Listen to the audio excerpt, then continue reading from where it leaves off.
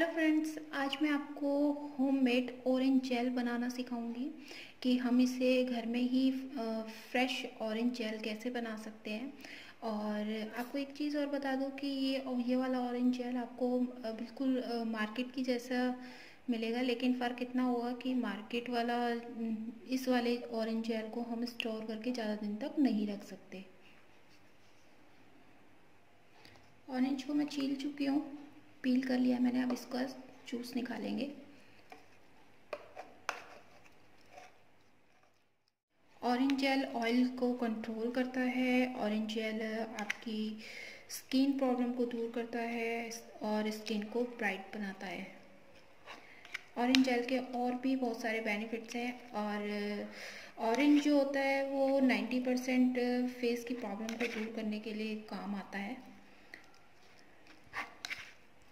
ये आप देख सकते हैं कि ऑरेंज का मैंने इसमें जूस निकाल चुकी हूँ। अब मैं इसमें ले रही हूँ एलोवेरा जेल आप कोई भी एलोवेरा जेल ले सकते हैं। और आप इसे स्टोर करके रख सकते हैं फ्रिज में सात दिन के लिए।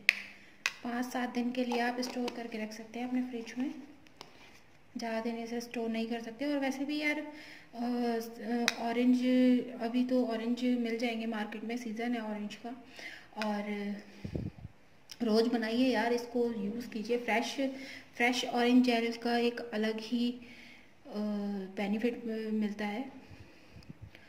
अब इसमें मैं ऑरेंज जूस डाल दूँगी। ये देखिए।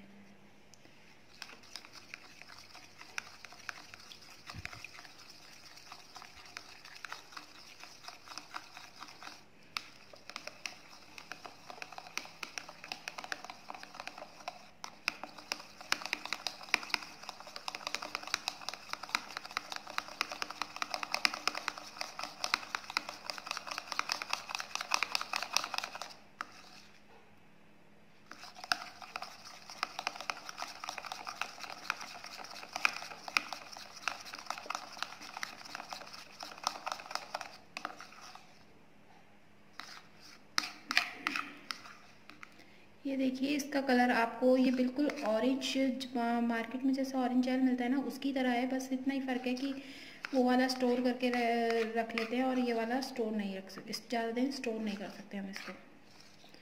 ये देखिए कितना प्यारा सा हमारा ऑरेंज जेल बन के रेडी हो गया है। ऑरेंज जेल बन के रेडी हो गया है। आप इसे कंटेनर में स्टोर करके फ्रिज में रख लीजिए।